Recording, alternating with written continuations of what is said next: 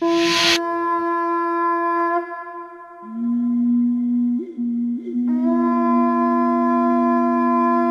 ¿qué tal amigos de En Tiempo Comunicaciones? Mi nombre es Raúl Hernández Luna y el día de hoy nos encontramos desde Paleoparque Las Ventas, ubicado acá en Zapotitlán, Salinas. Así que te invito a conocer ese maravilloso y bello atractivo.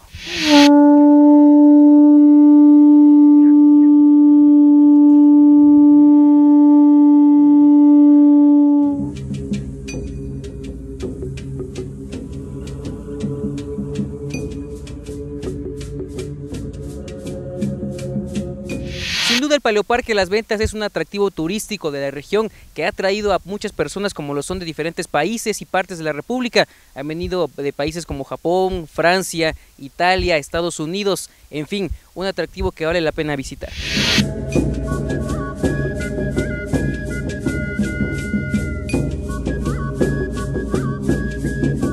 Parte de ese atractivo turístico, te comento, encontramos figuras como estas. Acá tenemos a un Itzilofodonte, que era parte fundamental del antiguo Jurásico. Te comento que ellos se alimentaban de las cosas, de los sobrantes, de los cuello largo, ya que no, por su tamaño, no podían conseguir alimento pues que estuviera a su alcance.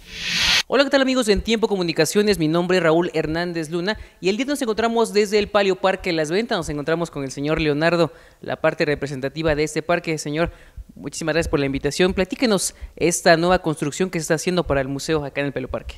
Pues antes que nada les, agradezco a ustedes por, haber aceptado nuestra invitación a conocer lo que nosotros hacemos. Estamos terminando lo que es el museo con una técnica de bioconstrucción que es bioconstrucción de recolección de pallets o las famosas tarimas de desecho, lo cual son todas las paredes que vemos alrededor.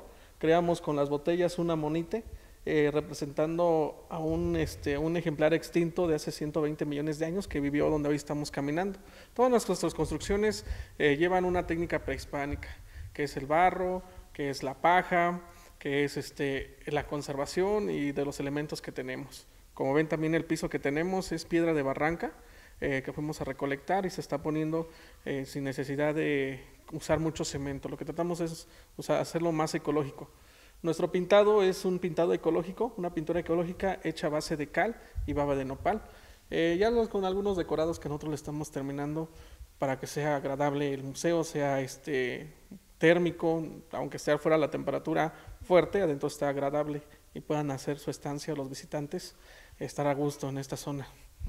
¿Desde ese cuánto es que ya se inicia lo que es el Paleoparque y hasta ahorita ya esa nueva construcción del museo? Bueno, este, apenas estuvimos de aniversario, cumpliendo cinco años en el mercado. Eh, este año ha sido el de más impacto, ya que en febrero nosotros, eh, a las inclemencias del tiempo, se llevó nuestro museo, que era algo sencillo, y de ahí nos empezamos a trabajar para llegar a tener esta construcción que hoy tenemos.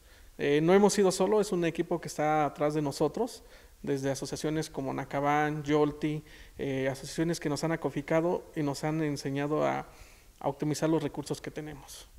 Sabemos que Paleoparque lo visitan muchísimas personas de diferentes puntos, de diferentes países, incluso, eh, no sé, algunos que nos puedan hablar en este momento que han venido a ser parte de esta gran experiencia. Claro que sí, mira, eh, no, no nomás Paleoparque, toda la región de Tehuacán ha sido de, estudios de investigadores, desde nacionales hasta franceses, italianos, alemanes, japoneses, chinos. O sea, aquí viene una biodiversidad de gente, desde niños de 3 años hasta personas de 80 años terminando sus investigaciones en doctorado.